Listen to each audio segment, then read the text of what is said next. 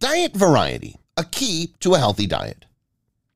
Diet variety is often misunderstood, and it's important to clarify its true meaning. It doesn't involve adding junk food like Pop-Tarts and candy. Instead, it focuses on incorporating a diverse range of nutritious foods such as fruits, vegetables, and lean meats into your meals. While macronutrients are important, they alone don't guarantee optimal nutrition. Relying solely on macros can lead to nutrient deficiencies, lower protein quality, and poorly timed nutrient intake. Addressing gut health is crucial when designing a nutrition plan for a new client. A challenge with a diverse diet is identifying the source of gut issues. Consuming different foods daily makes it difficult to pinpoint the root cause of the problem, like bloating and constipation.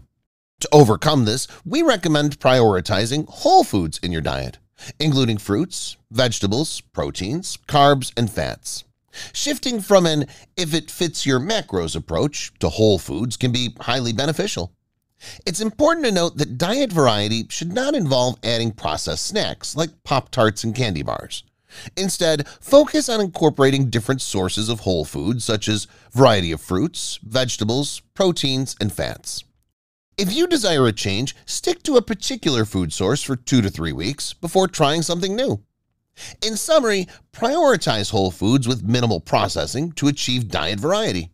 This approach encompasses a diverse range of fruits, vegetables, proteins, and fats, supporting a healthy and balanced diet. Welcome to the district.